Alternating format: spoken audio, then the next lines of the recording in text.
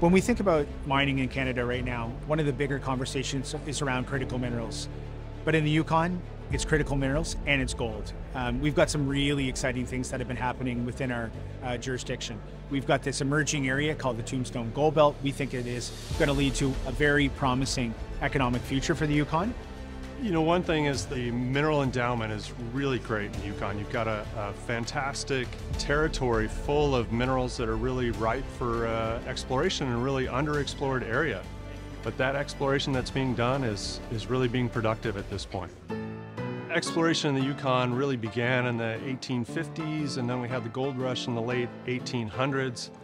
And from that point on, uh, a lot of new discoveries were made, but that pace has really accelerated with the application of new technology. We've really seen the addition of new discoveries since the 2000s, where Alexco and now Hecla are adding significant resources to the Keno Silver District. And with metallic minerals, our recent announcement of 18 million ounces added to the district total of silver ounces uh, discovered in the last couple of decades.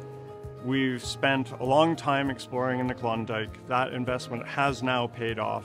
And I'm going to demonstrate this year, 2024, that there are discoveries to be made that are world class in the Klondike. It's just incredible finds, like actually uh, nation leading projects um, so we're very focused on ensuring the right infrastructure is in place. We're looking to see that the great partnerships are in place between those mining companies and the local First Nations. And really the sky's the limit on what can happen with some of the work that's being done in that area.